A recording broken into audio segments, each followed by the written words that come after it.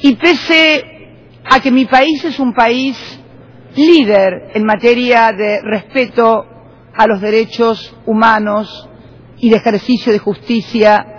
para quienes cometen crímenes contra la humanidad, pese a que tenemos un sistema que garantiza el debido proceso, la defensa en juicio,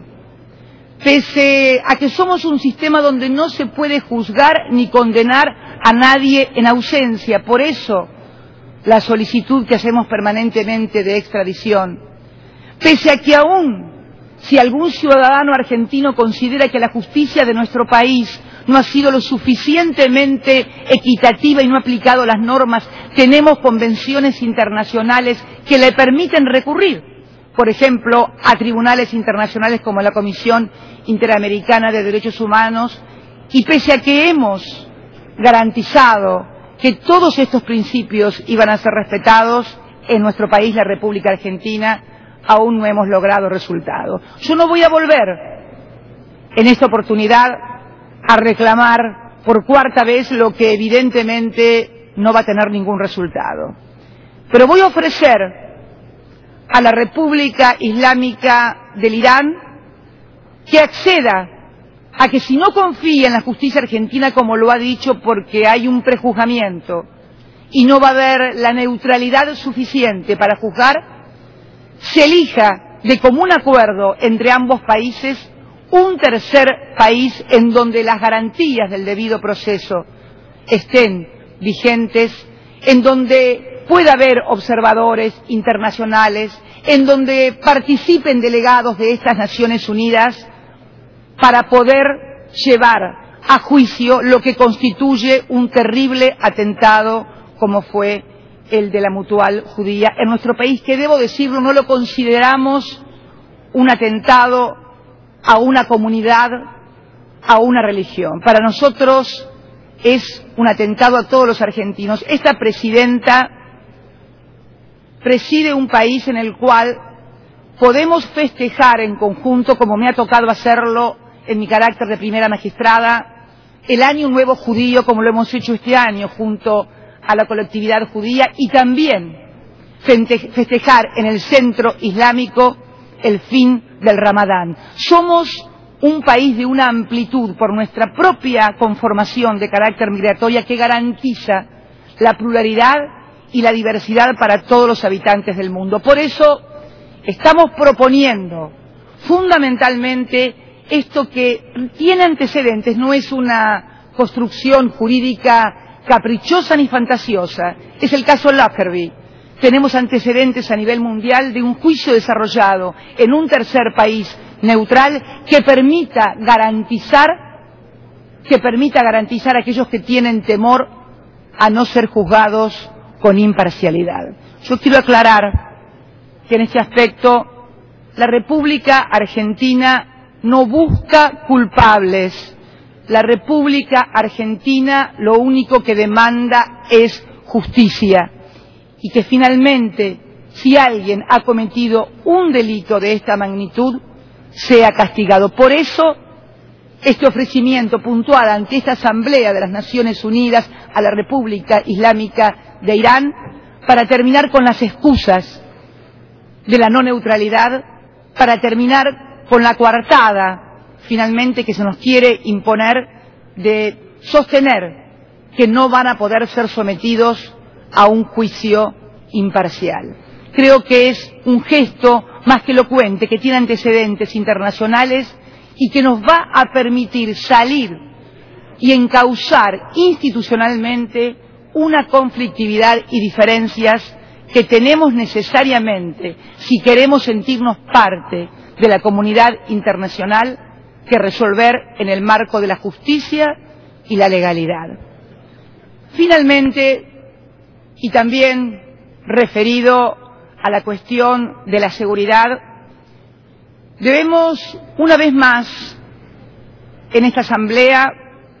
reclamar por nuestros derechos soberanos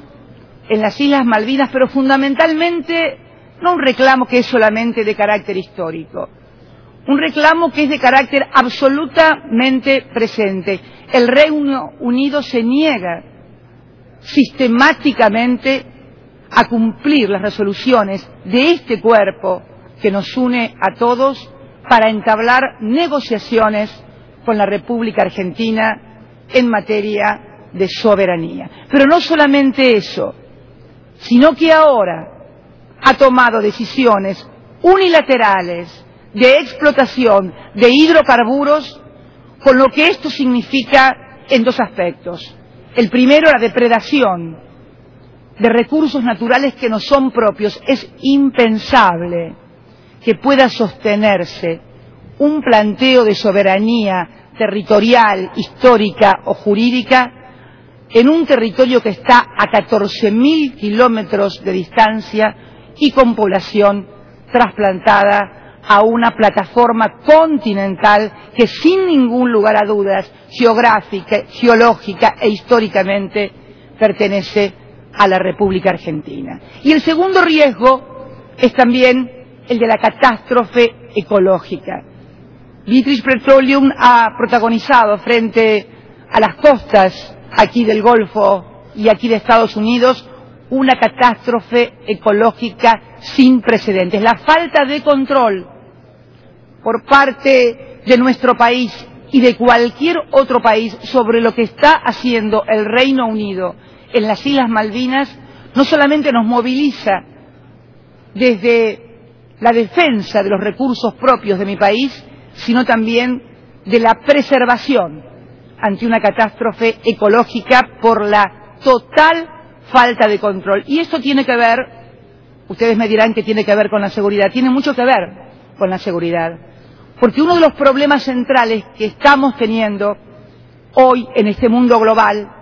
es la necesidad de reformular un Consejo de Seguridad acorde con los tiempos que corren, un Consejo de Seguridad que es el de esta institución, el de Naciones Unidas. Inglaterra, como otros países que tienen sillón permanente en el Consejo de Seguridad, hace uso y abuso de esta posición.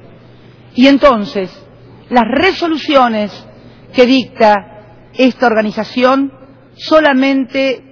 son aplicables a aquellos países que no tienen el poder suficiente o no tienen el derecho a estar sentados en un sillón permanente en el Consejo de Seguridad. Consejo que realmente debe ser reformulado porque no ha podido preservar hasta ahora la paz internacional ni la seguridad internacionales. No obedece solamente al hecho del carácter de permanente de algunos de los miembros. Obedece a que ha cambiado el escenario mundial en el cual se firmó la Carta de San Francisco y se creó ese Consejo de Seguridad. Ese Consejo de Seguridad, con esos miembros permanentes, eran un Consejo de Seguridad en el cual quienes estaban sentados tenían la posibilidad de ante un botón colorado provocar un holocausto nuclear. Esta fue realmente la razón de conformar un Consejo de Seguridad en el cual se pudieran equilibrar los intereses de un mundo bipolar y evitar el holocausto nuclear. Este mundo ya no existe. Quienes antaño eran enemigos enfrentados e irreconciliables, hoy son asociados, aliados, amigos, busquen la palabra que mejor les guste. Lo cierto es que aquellos que sí pueden provocar situaciones terribles de conflictividad, tragedias, terrorismo internacional, no están, por supuesto, ni estarán nunca sentados en estos sillones y, por lo tanto, ese Consejo de Seguridad ha perdido funcionalidad porque no se compadece con el escenario, con el mundo y con los peligros que este mundo encierra. Al contrario, muchas veces el uso y abuso que de esa posición dominante, al ser miembros del Consejo de Seguridad, hacen algunos países, es la que desencadena conflictos que luego no pueden ser reencausados por el propio Consejo y mucho menos por este organismo. Por eso, y creo que el caso de Malvinas es un caso muy demostrativo, pueden hacer lo que hacen porque nadie les impone cumplir las resoluciones de este cuerpo porque son miembros permanentes del Consejo de Seguridad y aliados muy importantes en la OTAN. En un mundo con doble estándar, donde los que tienen que cumplir son únicamente los países en desarrollo o los países con mayor grado de debilidad y los que pueden violar sistemáticamente el ordenamiento jurídico vigente a nivel internacional, no habrá posibilidades de construcción de paz y mucho menos de preservación de la seguridad, porque son estas situaciones las que terminan generando las brechas, las diferencias insalvables que vemos a diario. Por eso creo que es importante advertir que los conceptos de seguridad y los conceptos de paz nunca pueden estar asociados únicamente a una cuestión de carácter militar. Están asociados esencialmente a valores que tienen que ver con la política, que tienen que ver con la equidad, que tienen que ver con la libertad y que tienen que ver tal vez con una de las banderas por las cuales la humanidad ha luchado desde sus comienzos y que es la igualdad. Muchas gracias y muy buenos días a todos y a todas.